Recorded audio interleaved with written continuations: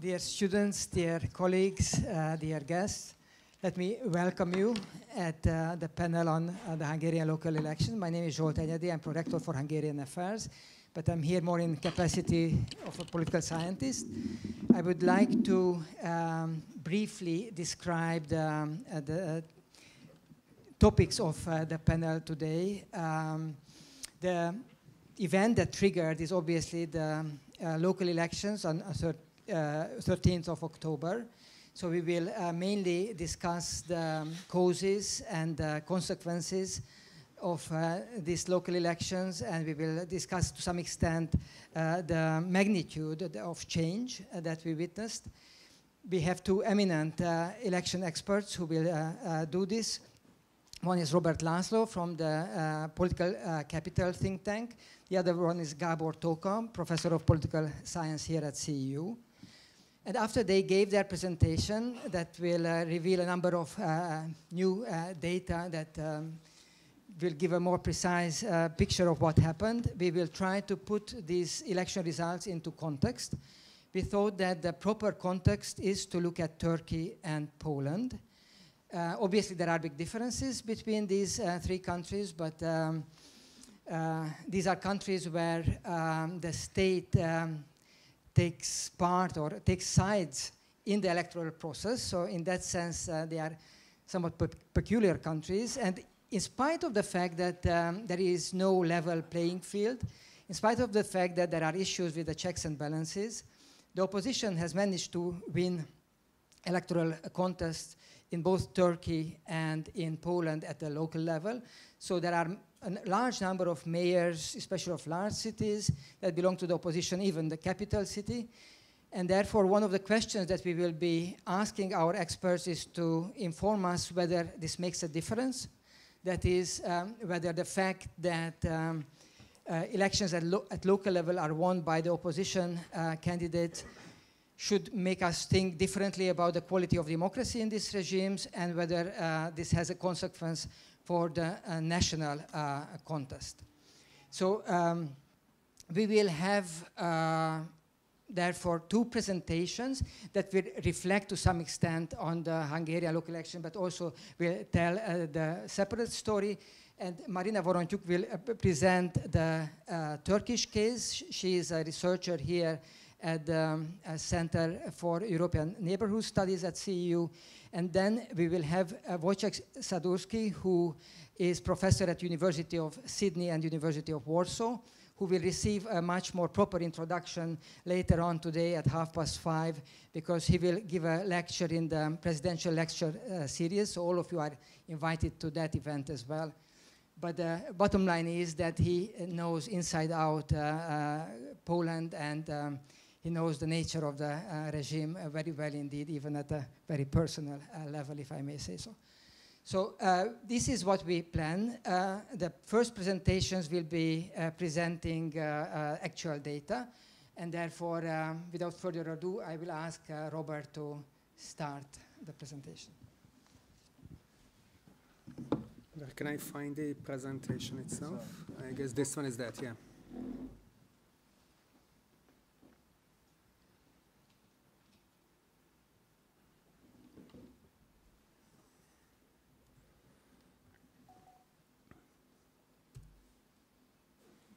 Doesn't work? No.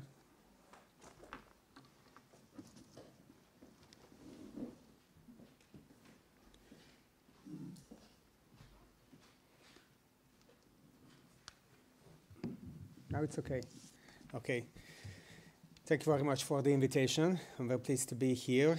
Uh, I was asked to summarize the, the results of the uh, elections in 15 minutes, which is, of course, impossible. So uh, I try to focus on a, on a few components uh, of the outcomes. Uh, my key statement is that Fidesz not really weakened in, in these uh, elections.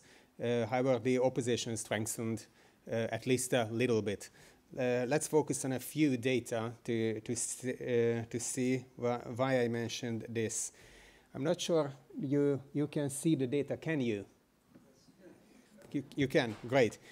Uh, So in the first column, you can see the 2014 uh, municipal election results in the county list, and uh, following that, there are coming the 2019 European Parliamentary elections, and then the 2009 municipal ones. The, the, this one is the freshest data. And then on the last column, uh, uh, you can see the municipal elections minus the EP elections, so you can see the difference between the two. But first of all, I have to emphasize what is new in these data is that uh, on the, in the column of the 2009 EP elections, you don't see the data you are familiar with from May 26, because um, uh, as you may know, that during the municipal elections, those voters do not vote for party lists who are living in the 23 biggest towns in, uh, with county rights. So, from, so from Sopron to Békéscsaba, these 23 cities are, don't vote these to, to this party list. So this is why, in order to make it comparable, uh, there is a difference between the, the real 2019 uh, European Parliamentary data and this one. Uh, so the, this is the reduced uh, amount uh, of, of votes. I'm not sure uh, it's clear what I try to explain, but yeah. Okay, based on your reactions, it's clear. Okay, so this is why the, the data of, in this column is higher because um, uh, Fidesz is uh, much more uh, supported in the smaller settlements than in the bigger ones. So, uh, and what you can see is that the uh, darker lines show where Fidesz could strengthen based on the percentage of votes. Of course, the, the turnout is a little bit different, but not so much. So it's, wor it's worth to see that uh, which are the counties where Fidesz uh, became even stronger in October than they were in May. This is Baranya, Borsod-Abaúj-Zemplén, Fejér, Heves, Komárom-Esztergom, and Fejér and Pest are almost the same, uh, ju uh, just like a, few months uh, before. So, and, and the other thing I have to explain is the bolded data shows the significant change in, in the numbers. So the significant changes only happens in Borsod-Abaúj-Zemplén, where almost 5% uh, more went to Fidesz now than four months ago. In Heves, where more than 6%, Komárom-Esztergom, where more than 5%, and Somogy, when 4% less uh, than a few months ago. But this happened just because of the fact that there is um, uh, a civil organization called Somogyért, uh, uh, who are pretty uh, supported only during the municipal elections. Maybe a few Fidesz voters voted for them as well. Uh, all other changes are not really significant, so we can see that the main support stayed uh, for Fidesz, and, and uh, where, where there is a significant change, they, they even strengthened. So this is what we can see from the um, county uh, county lists, the smaller settlements of Hungary. Uh, I'm sure you all know the outcome of the Budapest elections, and the opposition uh, can feel that they triumphed uh, Fidesz in, in the capital, and actually this is what happened. Now they have the Lord Mayor, and out of the 23 Budapest districts, they occupied uh, 14. Previously they had five or six uh, uh, ba based on your understanding whether the 23rd district was an oppositional-led uh, district or not. Okay, now it seems very good. Uh, out of the 23, they have 14. But what was the situation back in 2018 uh, on the on the parliamentary elections when, uh, when the opposition parties and all supporters felt that they are defeated and Orban Viktor, Viktor Orban and Fidesz triumphed. Actually, in the uh, 2018 parliamentary elections, we have 18 districts uh, in, in Budapest, and out of these 18, 12 went to the oppositional parties, and they, were, and they weren't happy at all. Why not? Because Fidesz uh, still had the two-thirds majority, and it didn't really matter. However, in Budapest, they, they had the majority back then. I just show you the six uh, single member constituencies where the opposition parties could not win uh, back in 2018. And you can see uh, the number of votes, this is the number of votes, uh, and you can see that how fragmented the oppositional parties were in these uh, municipalities. and if you add up the MSZP or DK or Együtt votes just with LMP, out of these six, at least five would go to the opposition as well. And I didn't talk about Jobbik, didn't talk about Momentum, and I didn't talk about uh, the two-tailed dog party, the MKK, MKKP. Uh, so out of the six, could have gone to uh, uh to the opposition in case uh, only LMP cooperated with MSZP and uh, and and Együtt. Of course, I know you cannot automatically sum, sum up this data. Uh, but if you if you add up momentum and, M and MKKP as well, you can see on the last column that that uh, all of the single-member constituencies could have been won uh, uh, by the opposition back in 2018.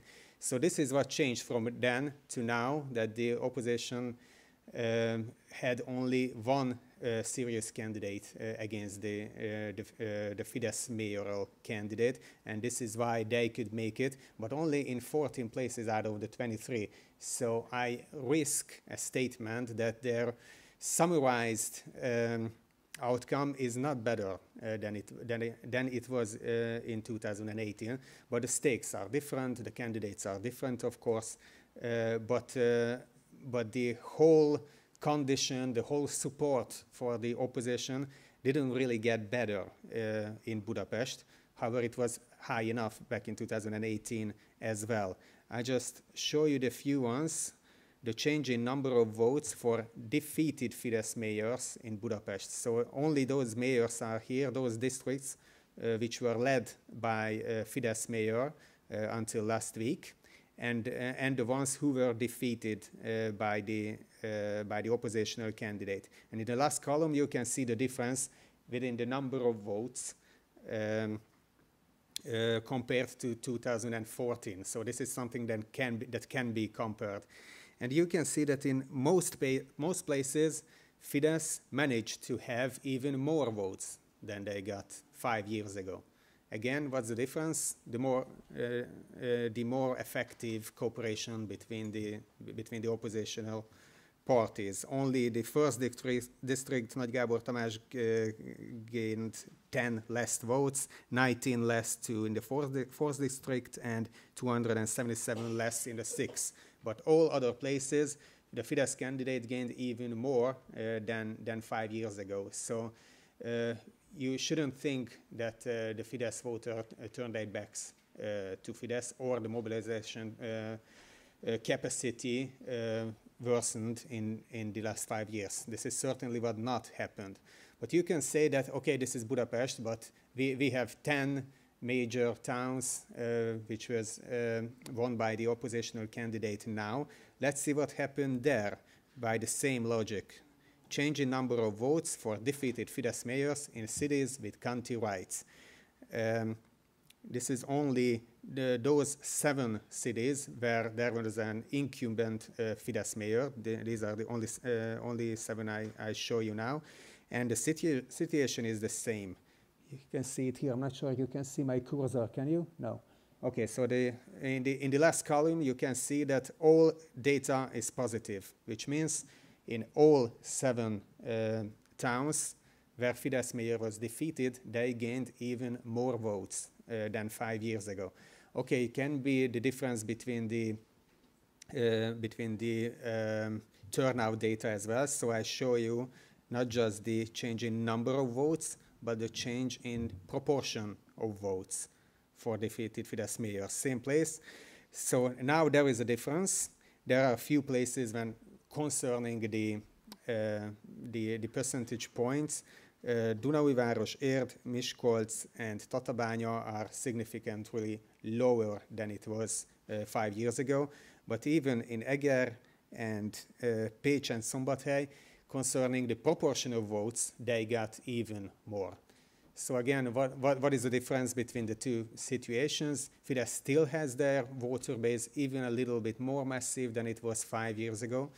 Um, uh, but the cooperation between the uh, among the oppositional parties were much more effective. So th th this is what these data shows. just a few findings uh, con uh, concerning, based, based on these data. Fidesz still has its strongholds. This is what I just emphasized.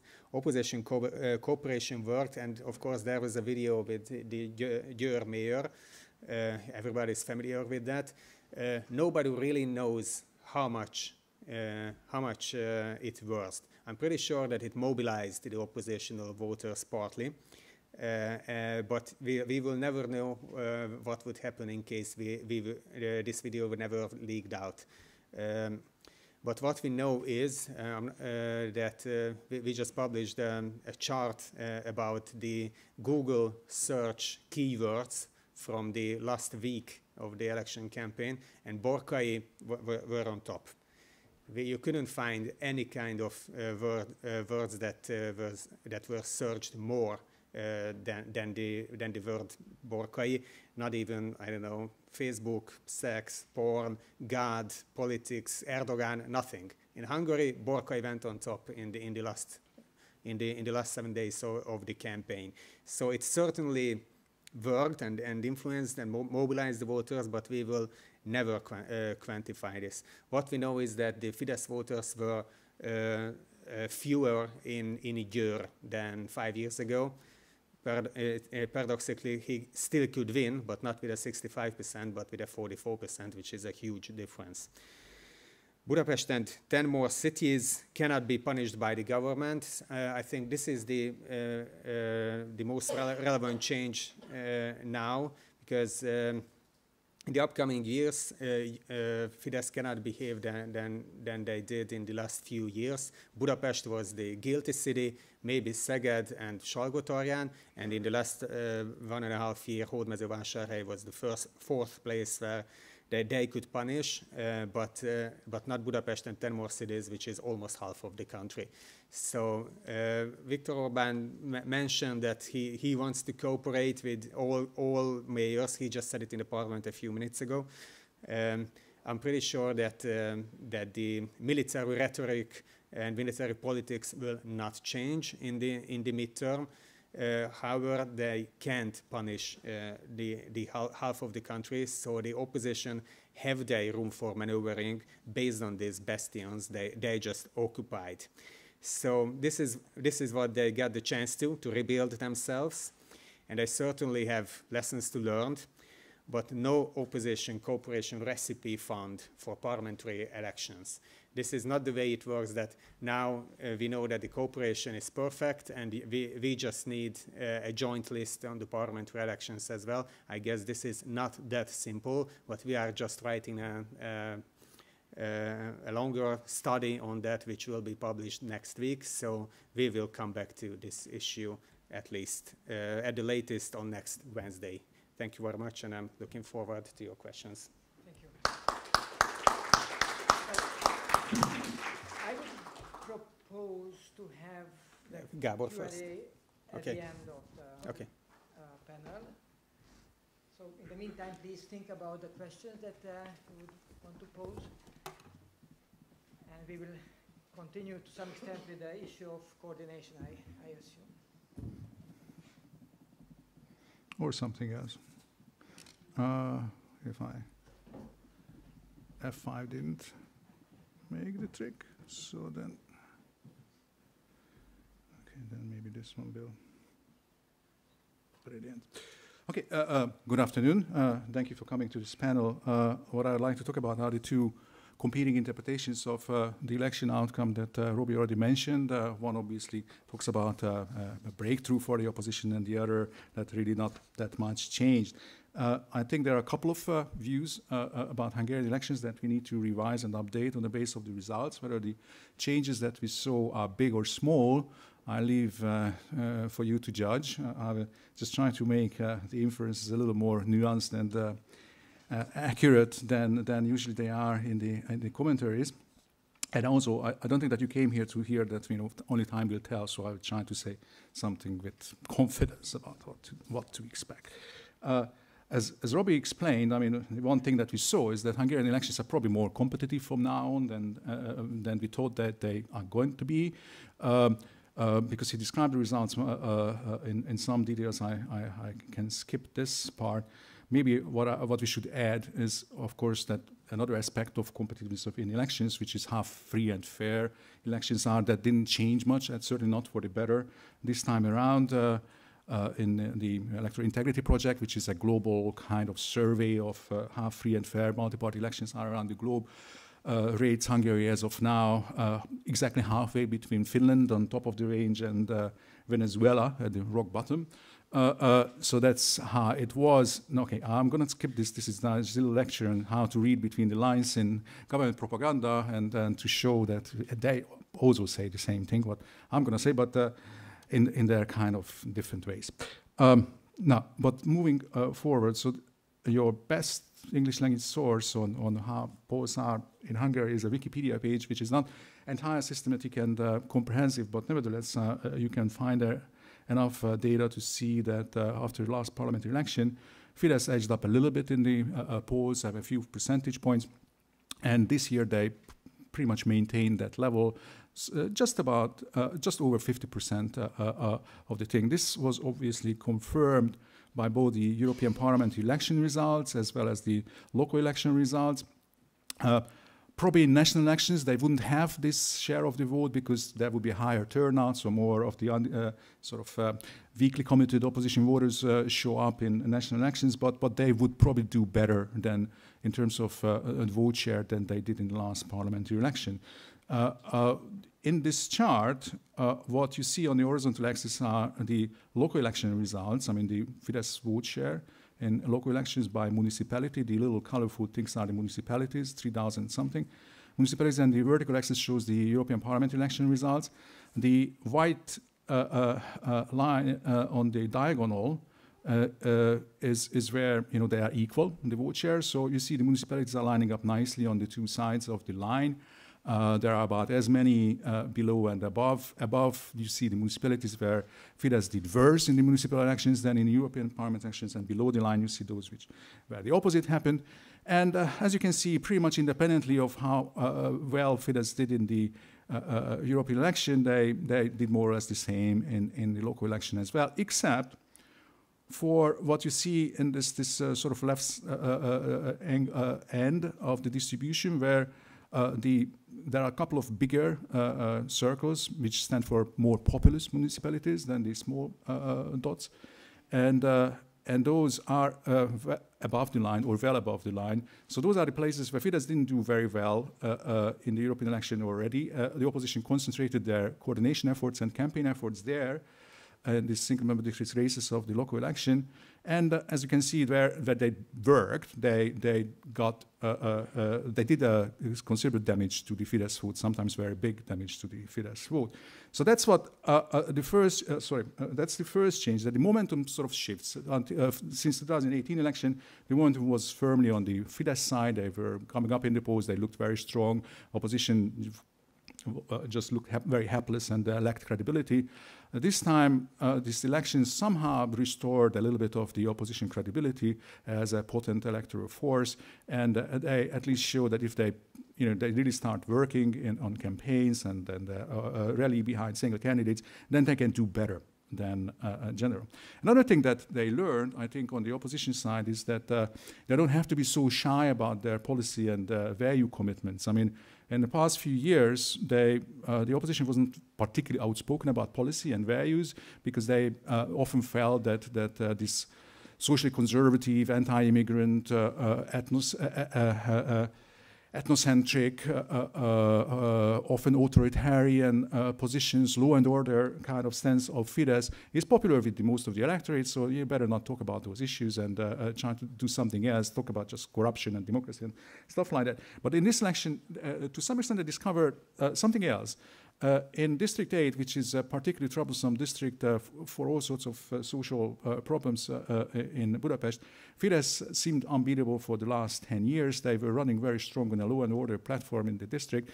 the, the two councillors on the top left and bottom right of this slide were members of the Fidesz faction. The, the man was the, is still the head of the neighborhood watch organization there, while the woman was running an extremely successful uh, um, sort of grassroots campaign a couple of years ago against the syringe exchange program for drug addicts in the district, which uh, the sort of social liberal NGOs were running there and were unpopular uh, with, uh, was unpopular with most residents. On the waves of that campaign, she became a Fidesz councillor. This time, they were defeated by the two men on, uh, who you saw on their two sides, two candidates of color, young men, who were extremely outspoken about their sort of social liberal uh, platform, you know, they don't look like the, you know, experienced, uh, consummate uh, uh, uh local politician of, of, their day, and, and with a door-to-door canvassing campaign, and with uh, being very explicit what they stand for on drugs, on, on, on, on, on, um, on nationalism, and, and all the rest of it, they beat these two candidates who are sort of emblematic figures of the law and order platform of the uh, Fidesz, which seems so unbeatable in this thing. So the result is that uh, the opposition will probably think now that, that uh, you know, maybe maybe it's not unbeatable to uh, uh, this this Fidesz platform, and maybe you can even gain something by by uh, challenging that. Whether that will help them in the next election or hurt them, that uh, I, I, really don't know. So on that, I remain silent. But it's going to be a change, I think, in the coming years in what the opposition is doing. Another uh, notable change is, is uh, uh, happened in the resource distribution in this election. Of course, Fidesz is still having an enormous advantage in terms of money, organization, media access, uh, uh, uh, public opinion polling operations, and all the rest of it. they have nicely organized stages, extremely precisely planned campaign with events, uh, tens of thousands of people going to you know the inauguration of all sorts of uh, institutions and roads and whatnot across the country. Uh, a victory parade uh, uh, on election night with loads of flags in the background, as you can see on the picture. And yet, you see the sour faces at the victory parade, right? And you see, now you have to go into criminology, you see a conspicuously absent face from the picture. So, who is Trotsky? Can you spot who is missing? Uh, the propaganda minister is missing. We haven't seen the propaganda minister since election day. Uh, and we have seen at least once uh, Mr. Borkai himself. So, you know, the e went missing even more than Mr. Borkai since the election. So they are not very happy with him. And the reason, I think, is this. Uh, uh, uh, uh this is a factory fence where someone scribbled give us cocaine, not potatoes, uh, uh, uh, which is mocking, on the one hand, the vote buying efforts of the Fidesz organizations across the country, and on the other hand, is a reference with the cocaine word uh, to the Borkai scandal. Uh, and it's, it's, you know, it's, we don't know whether this is a campaign worker who did this or, or, or it's just a citizen, but it's someone doing, putting in voluntary work spontaneously with imagination and uh, with some, you know, daring and, and provocation in a thing, and this thing appears to work, and it's sort of so the, the more imagination, more creativeness, more ingenuity, more uh, enthusiasm and commitment on the side of the people who put in voluntary free labor in the uh, otherwise extremely resourceless uh, and poorly funded opposition efforts can somehow counterbalance I mean, the uh, Leviathan. Uh, and that is, that is, I think, a big lesson for both the propaganda minister and for the uh, Fidesz people, uh, which, to which they will have to design a response to, and surely they will. Now, uh, have we not been here before? In 2012, 2015, obviously, uh, the opposition had some hopes uh, that they may do better next time around. Now, in 2019, is it not the case that, well, uh, next uh, election come, Fidesz will again have a two-thirds majority because after all, they have the resources and they are, you know, not stupid. They can design a response. They have all the means to do well. Uh, while I think there are a couple of new things, um, I don't dismiss the chances of, of them, of course, winning another two-thirds majority, but there are a couple of new things. First is that, uh, that the opposition uh, had uh, some success with this um, united opposition platform means that next time around, at least in the one election uh, uh, uh, that is coming up next, uh, they will have some credibility that they can they can have success with this thing, and therefore, whatever new uh, organizations, initiatives will come up on the opposition side with the promise of, you know, changing the opposition so that it becomes a more effective opposition, blah, blah, blah, will have less traction with the electorate now than they used to have in 2018, or even in this election in the shape of uh, Mr. Puzsér, candidate for uh, uh, Budapest mayor, or in previous times, the two-tailed dog party. I think this kind of sort of uh, splinters from the opposition will not gather quite as much uh, attention and support uh, next time than they did so far. Second is that uh, what we have to see is that this, what happened is not part of a midterm blues. Uh, in 2012 and 2015, Fidesz uh, uh, was down in the polls because the economic climate wasn't particularly good and so they had some, some popularity difficulties. Now this is not the case. It is just the opposi opposition pulled out something which, which worked better and the midterm blues is coming after this. We haven't yet seen it. And, and we know for certain that it's coming because, because, the, because, you know, because of the three elections in a row, national, uh, European, and, uh, and local, the monetary and fiscal policies of the government were really geared towards maintaining a, a, a climate of economic uh, optimism uh, for the last uh, uh, two, three years. And, and, and, uh, and, and it's not going to work any longer because they have to introduce austerity. I mean, maybe not major austerity, but uh, bits of it, and they promised that already uh, between the lines. And it's going to happen because, because they have to do that if they want to be in a good shape uh, uh, by the time of the next election again. Uh, the, what, what you can see very clearly as evidence, so to be empirical, is that as of 2016, the Hungarian state budget was one of the tightest across Europe. Uh, by now, it's one of uh, uh, uh, the highest deficits in the European Union, what the Hungarian government is running.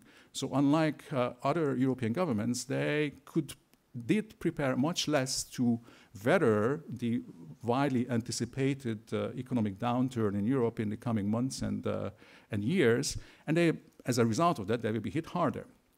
This is something that we know. We also know that government party popularity tracked very nicely consumer optimism in Hungary for the last um, at least the 10 years, but uh, uh, more like the last 25 years.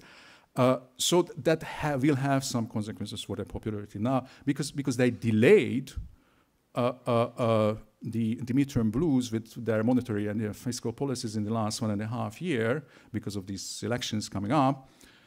therefore, they probably have less time to turn things around before the next election than before. Third difference is that now there is a visible momentum. In 2012 and 2015, the, the, momentum for the, the opposition was not terribly visible. It was only in the public opinion polls. In 2015, it was even in the polls, you could only see it if you were particularly experienced in how to read Hungarian public opinion polls.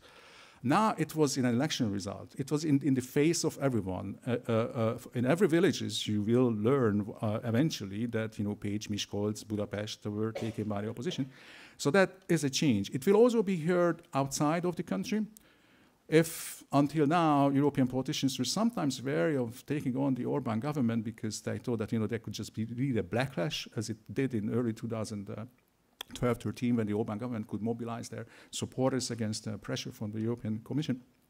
Uh, now, well, probably they will uh, have a different calculus about that. Okay, I skipped the next point because uh, uh, uh, we are running out of time.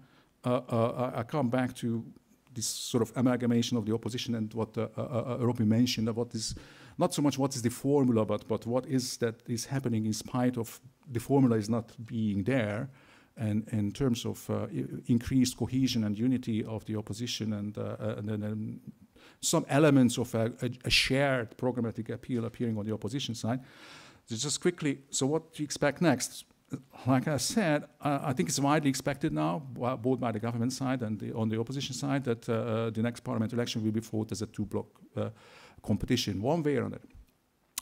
Uh, because so many people believe that these uh, sex videos worked nicely, in this election there will be more of that. So that, that you can also expect with certainty that more of the Borkai video type will come in the next couple of years, so politicians better take care of their zips in the coming years. Uh, uh, then uh, uh, the opposition will have some gains in terms of the three M's of, of George Gallup, that is media, money, and uh, morale. Because of this success, they will boost their media access. They will probably create some new media themselves with using the municipal positions they will get more donations and they will get more volunteers and, uh, and that will help them. I think just the fact that they had some success in the local election will increase their credibility as a potent electoral force and that alone will lead to a little bit of a gain uh, uh, uh, uh in the polls uh, already in the coming months. So you can check me whether I'm right or not.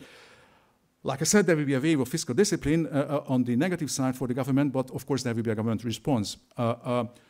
Uh, one uh, very important element of the response will be a redistricting of parliamentary constituencies next year. Uh, law requires that by the end of next year, the uh, districts in, in, County Pest are redrawn. Details irrelevant. Um, I would bet that this uh, mandate given by law will be interpreted uh, as, as a mandate to redraw all the constituency boundaries across the country and uh, we will have a completely new election map uh, for the election, which will take account of what is the expected geographic distribution of Fidesz and, and its challenger, the United Opposition, in, in the next election. That will give a nice cushion for, for Fidesz. So the opposition, if they get their gerrymander as right as they did in 2011, then uh, they will give them, uh, so that will mean that the opposition will have to win like 10% more of the vote to have as many seats, single member district seats as Fidesz. Uh, uh, so that, you know, raises the bar for the opposition quite a bit. I mean, so that may be a big ask. Then uh, there will be all sorts of other means of, of building, let's call it just ele uh, extrajudicial electoral advantage and, and, and then certainly there will be some experimentation with more programmatic, new programmatic appeals. Um, and, and that will be tested with a national constitutional referendum in the next uh, uh, uh two years, I imagine. Maybe that we have we will have both.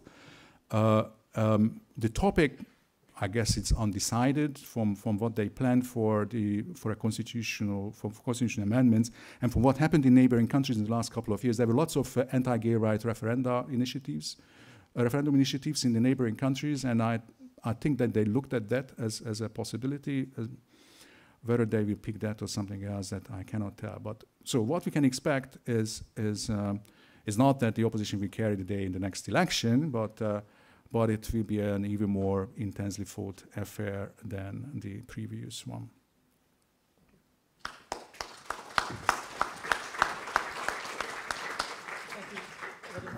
Ask Maryna to uh, give her presentation. Maybe, yeah, yeah. Of course, Turkey is in the news today for different reasons uh, than the local elections, but maybe there is some connection between the two. Uh, good afternoon. I was asked to make a very interesting intellectual exercise of trying to draw parallels between uh, Hungarian and Turkish uh, local elections. Uh, given uh, the presumed similarities between the political dynamics in both countries. Uh, so, um, and actually, the newly elected Budapest mayor was himself referring to this Istanbul effect. So it was this notion was very much heard here in Hungary. He traveled himself to Istanbul and talking to the new elected Istanbul mayor, trying to kind of you know borrow the successful electoral tactics of of the uh, opposition candidate. Uh, Turkey uh, hold the elections in March this year, and uh, in Istanbul, they were cancelled. The results of the elections were cancelled when the opposition uh, candidate uh, won the elections by a very slim margin, 0.17%. Uh, so uh, the Erdogan government said basically that this result became possible due to the fraud on part of opposition, and uh, they ordered the elections to be rerun, which happened in June. And now the Imamoglu, currently already a mayor, he won with 9% of uh, margin with the with the actually uh, uh, Erdogan's very close partner in, uh, in, former Prime Minister Yildirim. So this is uh, just to give you a context how uh, close or similarly close these situations are in Hungary and um, Turkey. In Turkey the main uh, outcome of the elections was uh, exactly as uh, Robert said in Hungary that basically the opposition strengthened itself, but, but at the same time, Erdogan's power and the power of his party, uh, AKP, uh, Justice and Development Party, is still unmatched. So opposition feels emboldened after this result, but still lots, a lot of things have to be done. Because as we know that AKP is in power since 2002, and it never uh, lost any elections, uh, except 2015 parliamentary elections, when Erdogan was, uh, didn't get the majority for the first time. And uh, he again ordered to rerun the elections, called for the snap elections. He conducted a very successful operations against the Kurdish insurgency in the country. He used this rally under the flag effect in Turkey and basically won the elections in uh, autumn in 2015. So there are some similar strategies that uh, are obvious here. Uh, when Karácsony went to Istanbul and he met with Imamoglu, the, uh, the letter uh, um, advised him to use kind of like embracing, reconciliatory, inclusive approach because he believes that this is what brought him the victory in Istanbul. And uh, yeah, and Imamoglu looks a very soft-spoken politician compared to this very uh, combative, conflictual uh, Erdogan's rhetoric. Uh, Erdogan himself uh, presented these local elections as a matter of national security. I mean, Turkey is a, is a very specific country there, where everything is uh, related to security. Every small issue is uh, depicted as a threat to national security. So threats are constructed on, uh, on uh, a very specific basis. So Erdogan framed the whole local elections as basically the referendum of confidence on his, on, on his government. And and uh, he said that uh, opposition was supported by the foreign media, that, uh, that terrorists support the opposition.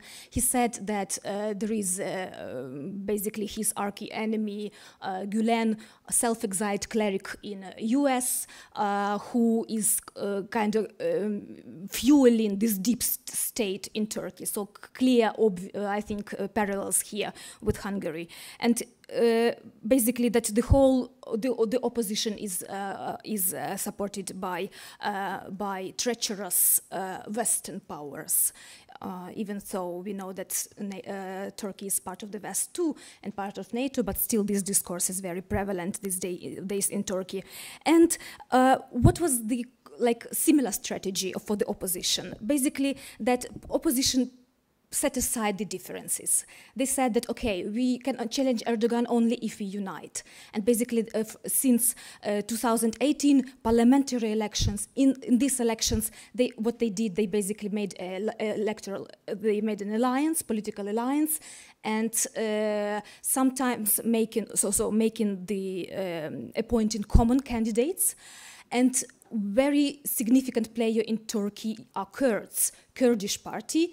They didn't support openly many of those candidates, but they also did not appoint their own candidates, like giving the green light for the opposition, trying to, you know, to support them in this indirect way. Uh, and uh, basically, it's visible that it worked. Uh, Erdogan's, Erdogan lost three major cities in, uh, in uh, Turkey, Ankara, Istanbul, and Izmir. And actually, Izmir already was uh, before controlled not by, by, by, by the opposition, but Ankara and Istanbul were very painful. And Istanbul it was like a sacral defeat for, for Erdogan. Erdogan was a mayor of Istanbul, and on numerous occasions he told that to lose Istanbul is to lose Turkey. But basically, we can say that it was also a not only Istanbul effect, but Ankara effect, because it was a capital, the same like, like Budapest or Warsaw.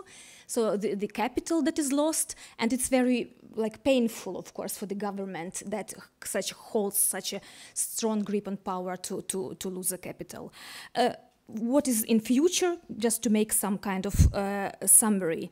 Of course, now the main question for Turkey, the same I believe as for Hungary, is the question whether this result can be replicated nationally in the next elections, whether uh, the lessons learned in these local elections can be somehow used uh, and employed. Many believe that this is the beginning of the end of Erdogan.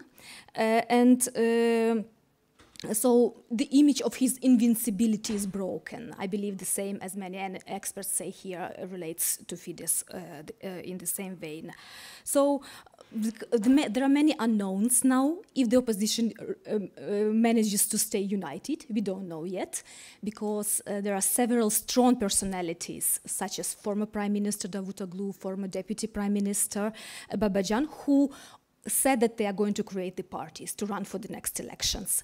That means that they will steal the votes from Erdogan for sure, they they are very mm, like widely supported in Turkey. We don't know yet. I mean, there are no new polls did not yet include uh, the questions on support for these parties uh, uh, to to ask to to Turkish respondents. So we will see this fresh data soon, uh, and uh, of course there is a very solid, like very uh, sp specifics of Turkey is that uh, uh, unlike many other countries, uh, it can resort to military operation as it did in previous years too, to to boost the the popularity for Erdogan. He did now. It, it's the second, uh, th sorry, third operation in Syria that uh, Turkey conducts now, and many say that the timing is obvious. That it's trying kind of to to uh, strengthen the positions of uh, Erdogan at the uh, background of a serious economic crisis,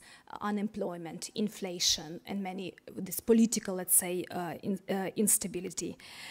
Uh, I will stop here and in case if something, uh, if I can answer some questions related to the topic, would be glad. Thank you.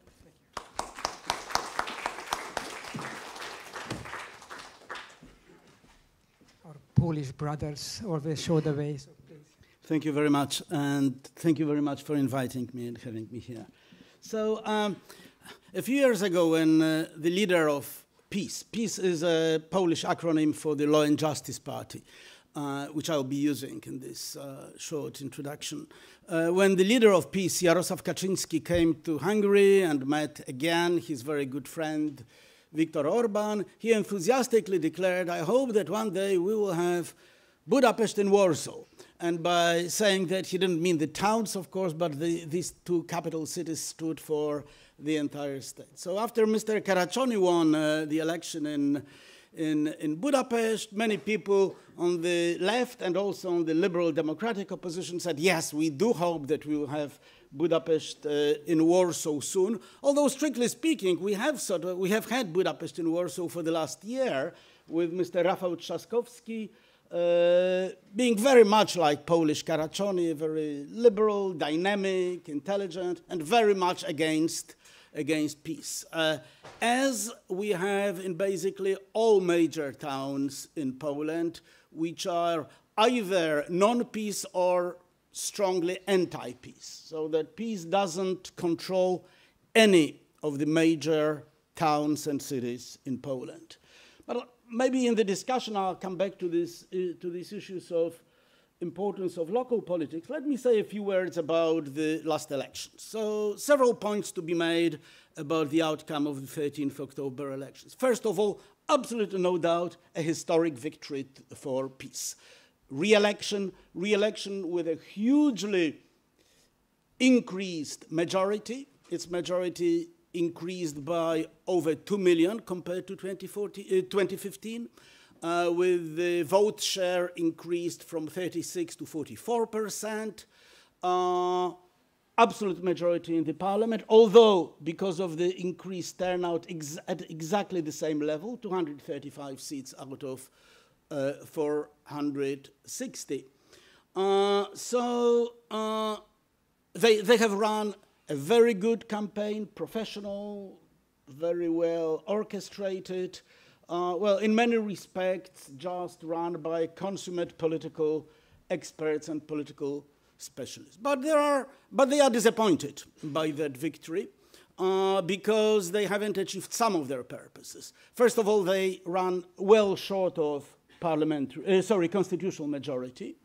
They cannot change the constitution, not that it bothers them too much because Jarosław Kaczynski hasn't uh, been too much concerned about uh, the, the, the, the, text and the unwritten norms of the Constitution. Still, they, don't, they can't change the Constitution. Uh, furthermore, they haven't even reached a lower qualified majority needed to override presidential veto.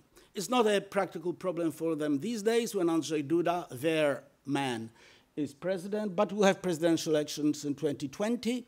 And if they lose this office, which is unlikely but possible, uh, then they will have a real problem because they won't be able to override the presidential veto. Uh, as you know, we in Poland have a semi-presidential system. in contrast to Hungary, and the president may be a very, very meaningful veto agent. Uh, they also now face a much more difficult lower chamber, the parliament, the more important chamber. In Polish, it's Sejm, S-E-J-M, uh, which is much more pluralistic than before, which again has the left. For the last term, we didn't have the left represented in, in the parliament at all. And in the left, we have some of the most formidable, not just politicians, but also local activists and intellectuals. They will be difficult for PiS. And we have the extreme right, so called confederation, uh, which for Kaczynski is a real problem because he doesn't feel comfortable having uh, another party to the right of him. It creates problems, for example, in his dealings with the church. To the church, he can be a guarantor of certain social conservatism, with the Confederation, which is, for example, much more, even more radical in anti-abortion proposals than Kaczynski is, it will be a problem.